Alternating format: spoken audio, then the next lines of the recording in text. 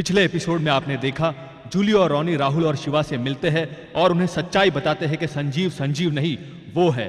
वो के जादुई करामात से राजा अपने दोस्तों की आवाज़ें सुन नहीं पाता। सांप का जहर शिवा पर असर दिखाता है और शिवा निढाल होकर गिर जाता है। पर अपनी इच्छा शक्ति के बल पर शिवा अपने आप को संभालता है। जेल में रंजीत और आनंद आशुतोष को परेशान करते हैं और उस पर झूठा इल्ज़ाम लगाते हैं। जंगल में राजा को एक आदिवासी लड़की दिखाई देती है और राजा उसकी तरफ़ बढ़ता है। अब आगे।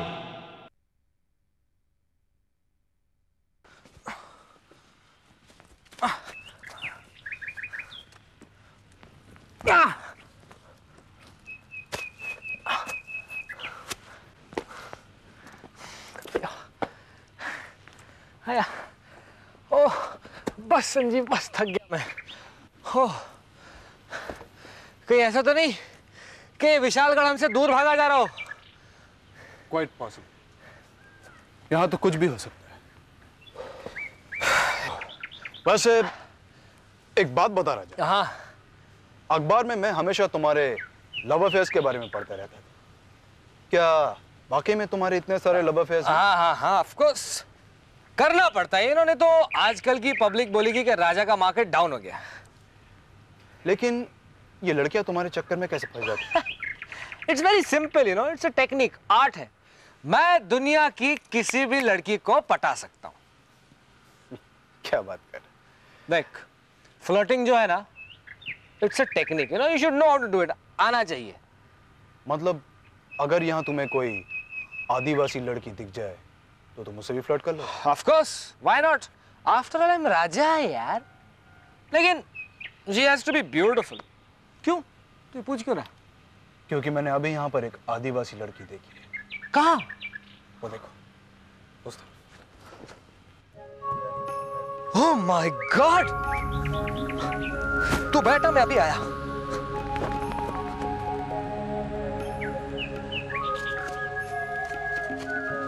Hello matching. आप आप फ़िल्म स्टार राजा है ना? हाँ तुमने मुझे पहचान लिया? जी हाँ मैंने वो आपको मेले में बड़े पर्दे पे देखा था। अच्छा अच्छा अच्छा अच्छा। तुम्हारा नाम क्या है? Phulwa. Phulwa? What a flowery name जी। मेरा मतलब है तुम्हारा नाम बड़ा प्यारा है फूलवा आप यहाँ शूटिंग के लिए आए हैं? नहीं हम यहाँ शूटिंग के लिए नहीं आए। हम तो यहाँ घूमने आए हैं। आपके कपड़े मुझे बहुत पसंद है। हाँ, क्या करें? पहनना पड़ता है। तुम कहो तो उतार दूँ? आइगो आपके बाल भी मुझे बहुत पसंद है। ये- नहीं उतरते। आइगो आप बड़े स्मार्ट है। मैं जानता हूँ मैं बड़ा स्मार्ट हूँ। लेकिन तुम भी बड़ी स्मार्ट हो फुलवा।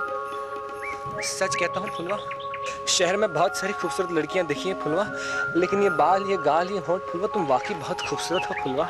आइगो को, कोई देख लेगा ना? अरे ये क्या आएगा आएगा लगा के रखा है। क्या तुम्हारा नाम फुलवा मोंगिया है? अरे जमाने की परवाह छोड़ो। सचमुच फुलवा जब से तुम्हें देखा है मेरे दिल ने धड़कना ही छोड़ दिया है। फुलवा या वोटी फुलवा। तुम बड़ी खूबसूरत हो। कोई देख लेगा ना? ए राजा वो कहानी याद है ना? जिसमें राजकुमारी मेंढक को किस करती है और मेंढक राजकुमार बन जाता है? हाँ याद है। देख ले कहीं यहाँ भी कुछ उल्टा सीधा ना हो जाए। तुम इसे छोड़ो Phulwa. But Phulwa I want you Phulwa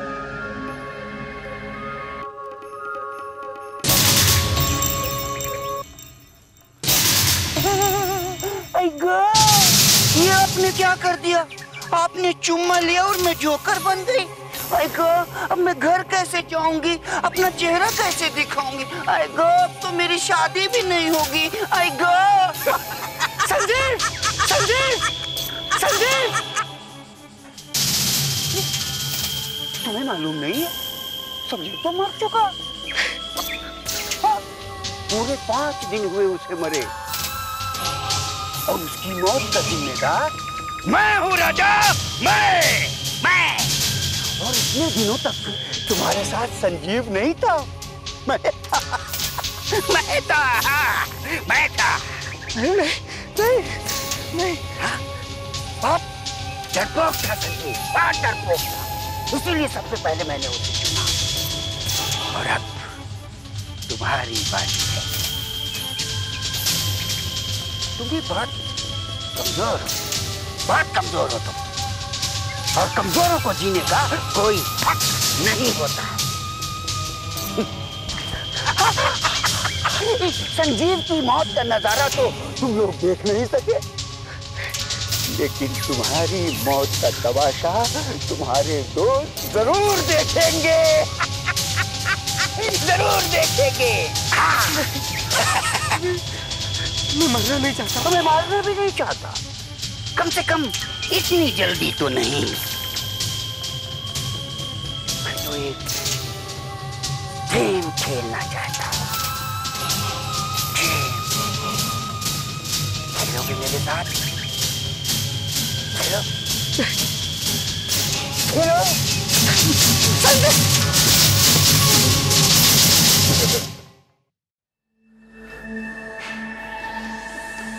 sorry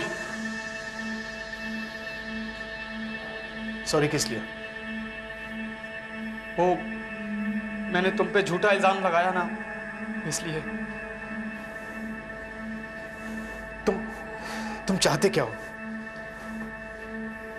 तुम्हारे मन की शांति। तो तुम पहले ही छीन चुके मैं नहीं। मैं नहीं वो। रंजीत। बचपन में हम लोगों के बीच जो भी दुश्मनी थी उसे उसे भूल जाओ। देखो वो सिर्फ़ हमारा ही नहीं बल्कि सारी इंसानियत का दुश्मन है। लेकिन मेरा दोस्त है वो। मेरा जैसे तुम्हें तुम्हारे दोस्त प्यारे हैं ना ऐसे हमारे दोस्त हमें प्यारे हैं। आप बहुत प्यारे हैं हमें। बहुत प्यारे हैं। क्योंकि वो बहुत ताकतवर है। अरे तुम लोग तो उसकी बराबरी भी नहीं कर सकते। लोग चढ़ते सूरज को सलाम करते हैं। हम भी। और आशुतोष धर, हमें प्रवचन देने के बजाय अपने उस दोस्त के बारे में सोचो, जिसे वो लेके आए रंजीत, अब बस। मेरी बात ध्यान से सुन। मैं एक शिक्षक हूँ। अच्छे संस्कार फैलाना मेरा पेशा है। लेकिन कहीं अगर मेरे दोस्तों के साथ कुछ भला बुरा होता है तो मैं उन्हीं संस्कारों से नाता देर नहीं करूँगा। एक और बात। मेरे दोस्त सही सलामत वापस लौटेंगे। सुन रहा है तुम सुन रहा है? वो सही सलामत वापस लौटेंगे। और अगली बार, जब वो की खिदमत में हाजिर हो, तब उसे बता देना कि अब भले ही हम लकी सेवन नहीं रहे, लेकिन हम लड़ेंगे। आखिरी दम तक लड़ेंगे। चाहे कोई भी मुसीबतें हो। याद रखना मेरी बात।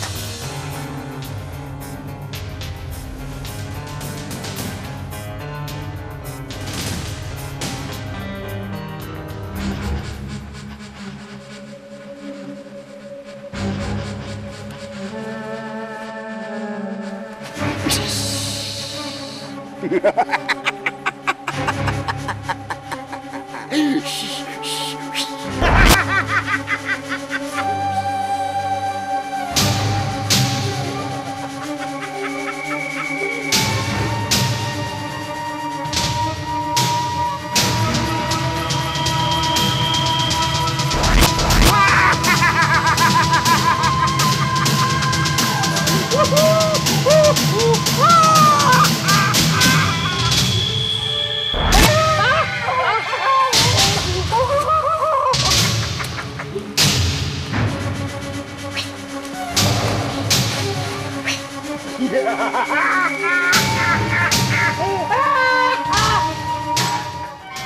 प्रिंसिपल साहब आपको साहब ने बुलाया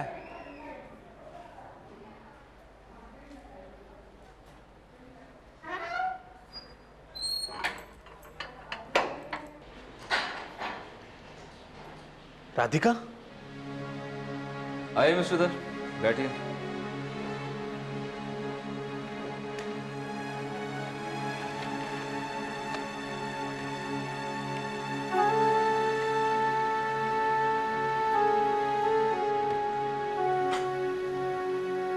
मिसेस धर ने आपकी जमानत दे दी आप जा सकते हैं। लेकिन इसका हरगिज ये मतलब नहीं है कि तहकीकात खत्म हो गई मिस्टर धर। मुझे हैरानी है इस बात की कि आज तक किसी मुलजिम ने मेरे सामने अपनी जबान बंद नहीं रखी। सभी ने अपनी गुनाह कबूल की फ़र्स्ट टाइम जब मैंने कोई गुनाह किया ही नहीं है तो कबूल करने का सवाल ही नहीं उठता। ये मैं आपके मुँह से कई बार सुन चुका हूँ मिस्टर धर। नॉट टॉक समथिंग न्यू कुछ अलग बोलिए। वो बताइए जो हम जानना चाहते हैं। और शायद भाभी भी।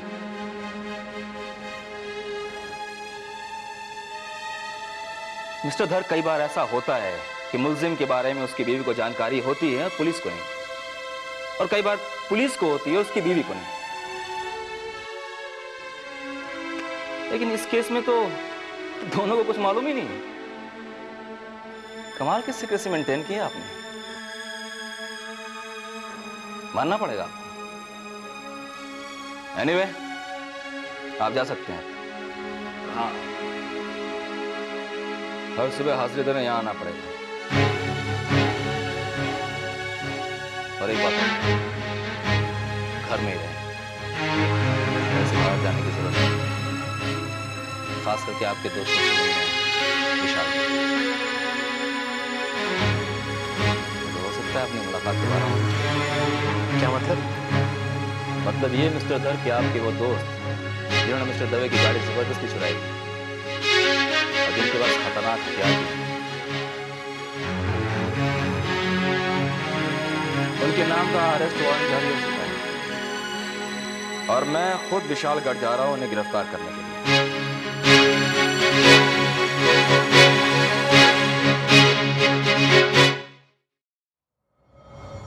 आशुतोष तो गया। हम रह गए। अब? वो हमारा इंतज़ार कर रहा होगा। अब? हमें जाना होगा। कब? पागल अभी। अभी।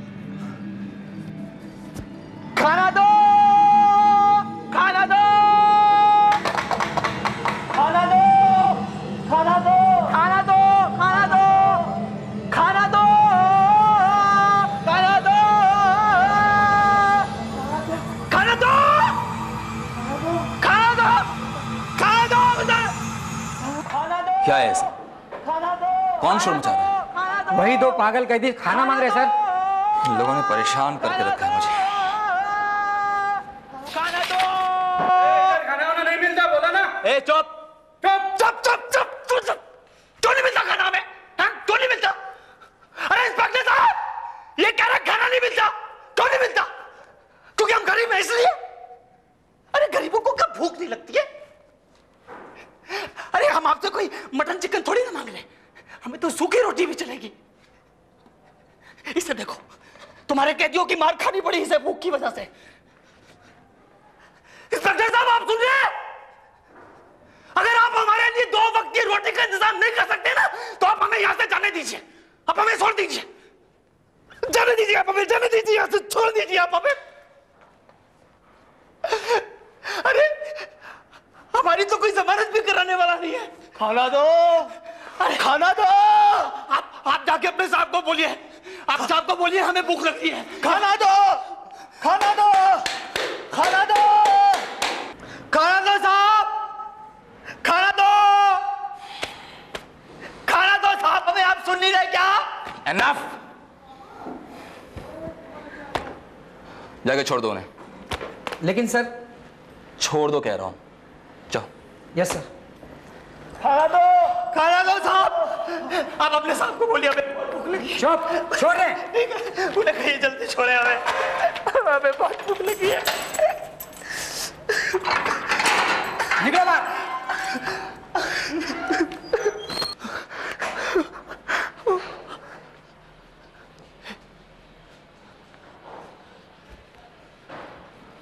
सलाम साहब।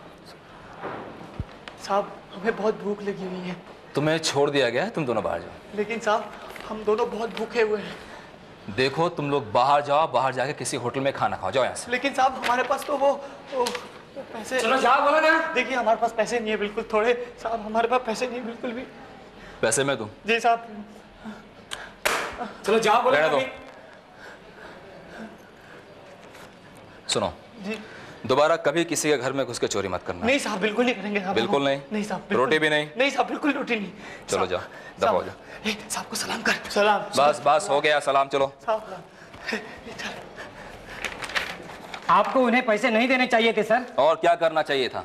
दो रोटियाँ चुराने के जुर्म ज़िंदगी में हवालात में रखो उनको। और भी ज़रूरी काम है करने के लिए। विशालगढ़ जाना तैयारी करो। Yes sir.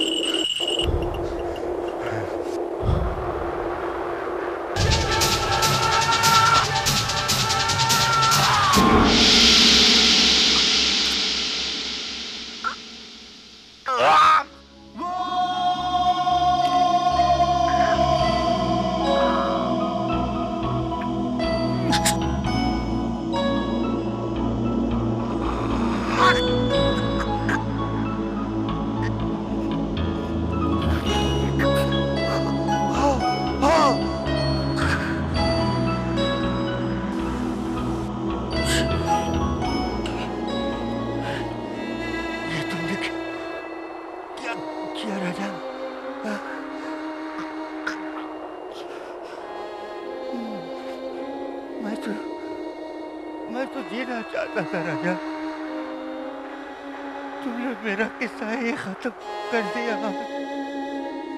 आ-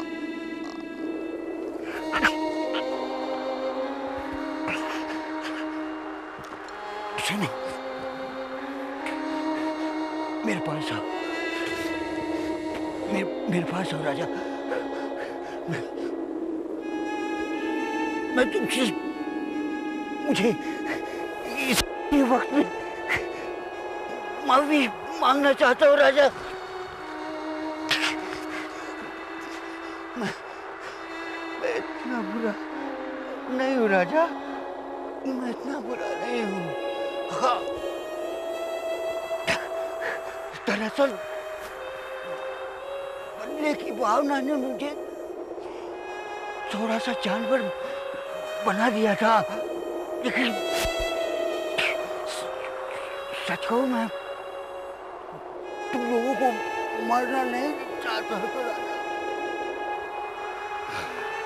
मैं तो सिर्फ़ एक खेल खेल सिर्फ़ एक खेल।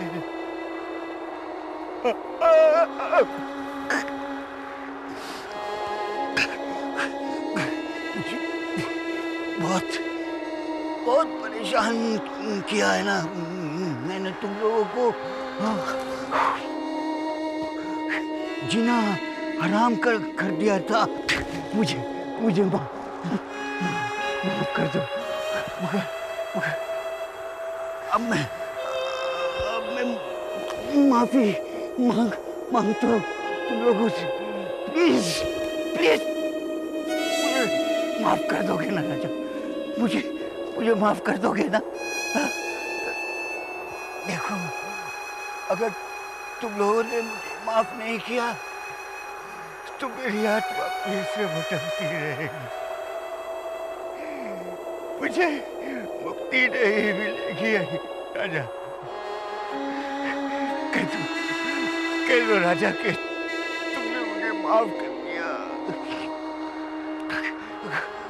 Please please forgive me, Raja, please. और सुनो अपने अपने दोस्तों से भी कहना कि मुझे माफ़ कर दे। Pray pray for me Raja pray for me ताकि भगवान भी मुझे माफ़ कर।